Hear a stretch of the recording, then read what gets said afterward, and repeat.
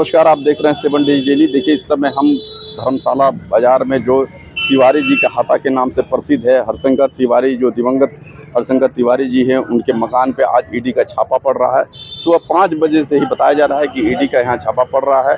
तमाम यहाँ आप देख सकते हैं कि यहाँ पर पुलिस के लोग यहाँ पे मौजूद थे अभी, और ये तमाम उनके समर्थक भी यहाँ पर यहाँ मौजूद हैं लोग। तो गंगोत्री इंटरप्राइजेज इनका जो फर्म है इसी के माध्यम से ये छापा पड़ रहा है। और क्या है सारी बातें ये तो जाँच का विषय है। अब जाँच होने के बाद ही पता चलेगा क्या है असलियत सच्चाई।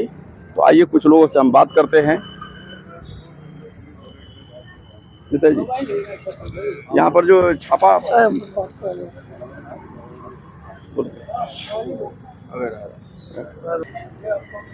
तो यहाँ पर अभी देखिए, बहुत समर्थक यहाँ पे, तमाम यहाँ पे हैं, लेकिन अभी कोई बोलने को तैयार नहीं है, क्योंकि ईडी का छापा सुबह पाँच बजे से यहाँ चल रहा है, कार्रवाई चल रही है, चारों तरफ़ से मकान को सील पैक किया हुआ है एक तरह से। कि इनके जितने भी समर्थक अभी कोई भी बात करने की स्थिति में नहीं है। अब ये छापा कितने देर तक पड़ता है, क्या कार्रवाई होती है, यह तो अब देखने का विषय है।